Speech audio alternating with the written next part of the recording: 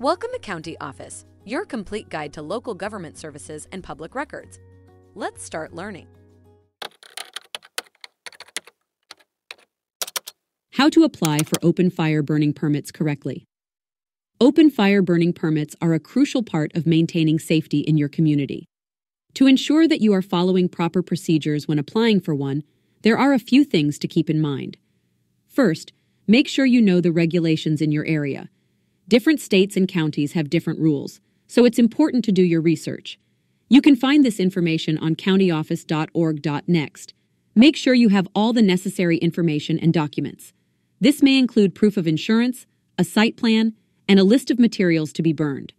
When filling out the application, be sure to answer all questions truthfully and accurately. Any false information could result in serious consequences.